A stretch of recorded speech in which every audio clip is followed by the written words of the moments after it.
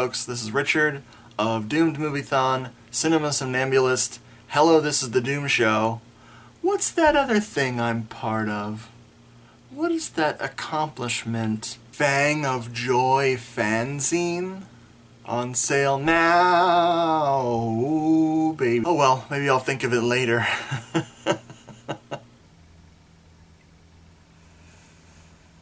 So I'm back with another episode of The Unseenly. What is The Unseenly? Well, you see, my horror movie shelves in the other room here, they're full, and I need to pull off movies that I've never seen before and watch them, and then we'll review them, and if they suck, then they gotta get out of this house, so I have room for more horror movies. If I love it, it's awesome, and I'll put it right back on the shelf.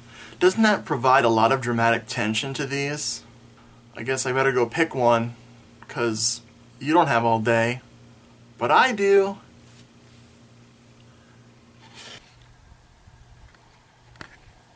Hmm, no.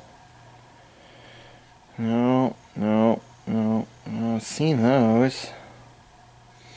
I've seen those. Wait a second. Wait just one minute.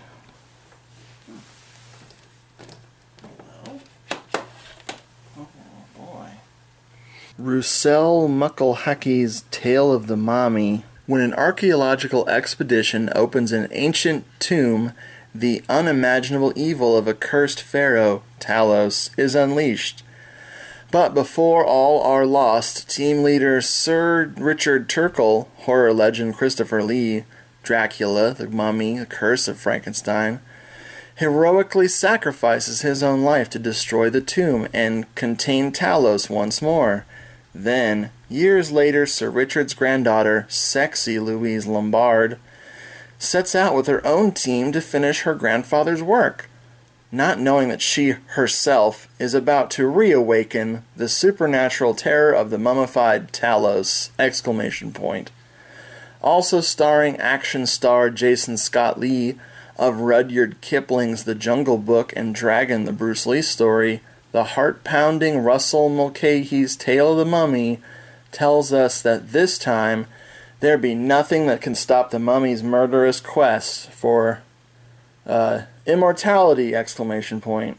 Before we go any farther, I want to mention that uh, this particular DVD is from my mom. Thank you, Mom. hey!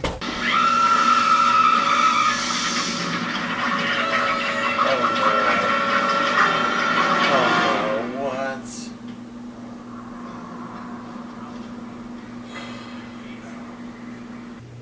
I just finished watching Russell Mulcahy's Tale of the Mummy. Um, so this movie has a big budget, it has great camera work. That's the end of my compliments. Well, Christopher Lee. Christopher Lee was great, of course. Basically, the moment his character dies, turn off the movie. Because the rest of it is a big waste of time. Oh my god. I thought maybe with a strange cast, because this has some weird people in it, might be an outside of the box kind of a thing.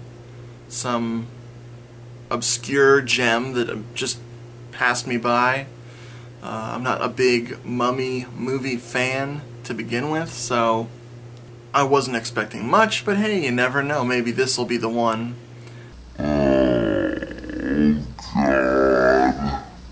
First of all, the mummy isn't fully formed for most of the movie. It's a pile of flying bandages. Uh, it's collecting all these body parts, and it still is taking forever to form into a humanoid-like being. I think it's a big mistake because it was not interesting. The flying bandages, the flying bandages looked really bad, especially when they were completely CGI. The monster, because it's not even a mummy anymore after it forms, it is birthed like some kind of alien creature.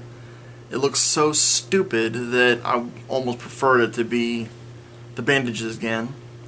Bandages is bandages. That's a hard word to say. Just before the mummy alien being is born, and after it's collected some of the body parts, uh, the mummy was all wrapped up in actually like a, a monster, like a like a, a creature like Jason, or it gave me a Wishmaster vibe, which that's never a good vibe for a movie to give off. Dialogue's bad, script is boring. Shit. I really tried to like this. Um, I fell asleep during it. It was so boring. I lost just about five minutes. My wife woke me up, and I was like, "Don't worry, it doesn't. It doesn't matter."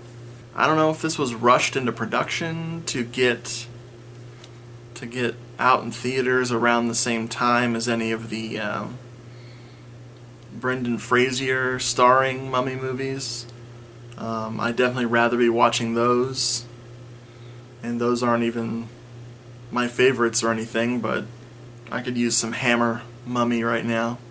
Beware the Hammer Mummy! Ooh, I think I should write that screenplay. A mummy coming back from ancient times to bash people's brains in with a big ass hammer.